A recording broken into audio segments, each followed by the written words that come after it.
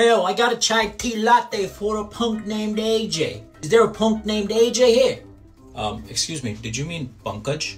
It's punk AJ. Punk AJ. No, it's just one word, one name, Pankaj. Now listen to me, you fucking punk AJ. You stop acting cute with me. You understand me? Baap re baap. Uh, okay, uh, whatever. I mean, that's fine. Uh, can I just have my drink and I'll, I'll go? I ain't gonna give you your chai tea fucking drink until you apologize. You punk AJ, you disrespected me. And now you gotta say, I'm sorry, Mr. A. I ain't ever gonna do that again. I swear on my mother's life, I ain't ever gonna do that. Only then will I give you your fucking drink. Mr. A. So, so wait, your actual name is just A. You got a problem with that?